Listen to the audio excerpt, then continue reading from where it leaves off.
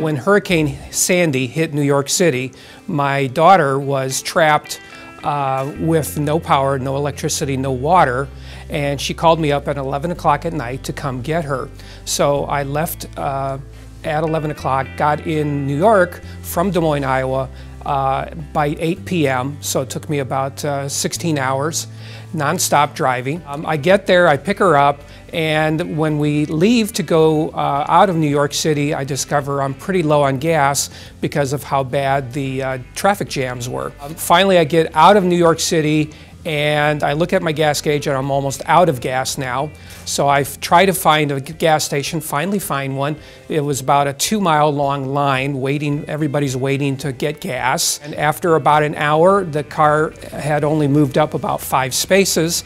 So I'm like, okay, I'm not gonna have enough gas. What am I going to do?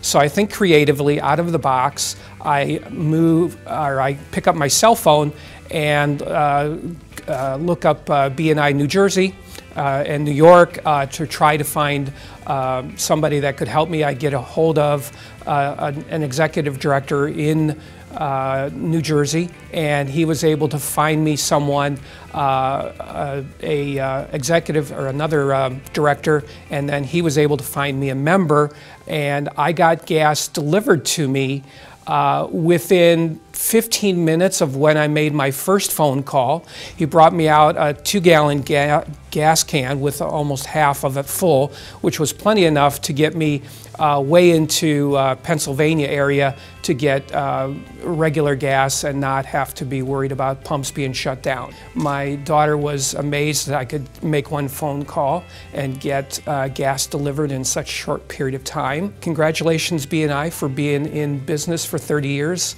and I appreciate everything that BNI has done for me.